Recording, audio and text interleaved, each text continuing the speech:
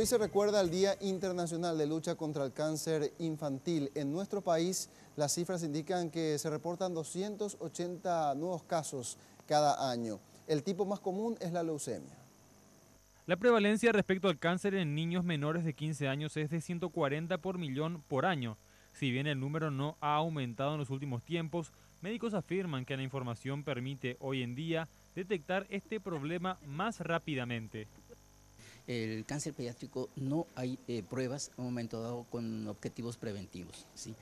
desafortunadamente. ¿sí?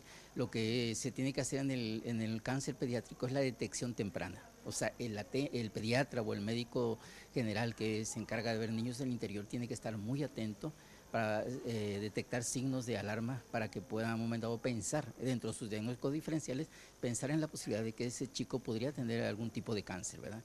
Uno de los tipos de cáncer con mayor prevalencia es la leucemia. Sí, eh, aproximadamente la mitad de los chicos, un 40-50% de los cánceres pediátricos son leucemias.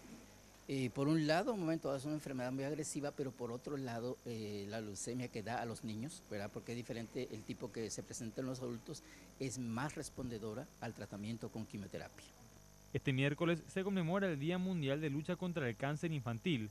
El jefe del área de pediatría expresó que actualmente no tienen mayores problemas con la provisión de medicamentos para enfermedades oncológicas en su farmacia y que los aparatos radiológicos funcionan en su totalidad.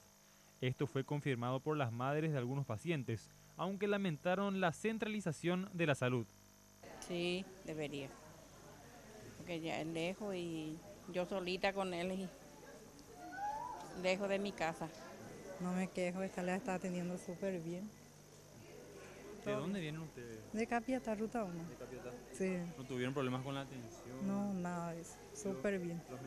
El galeno mencionó que cuentan con dos máquinas de radioterapia en el Hospital de Cáncer de Itagua, pero que esperan que en el futuro otros aparatos sean adquiridos para ser instalados en el interior del país.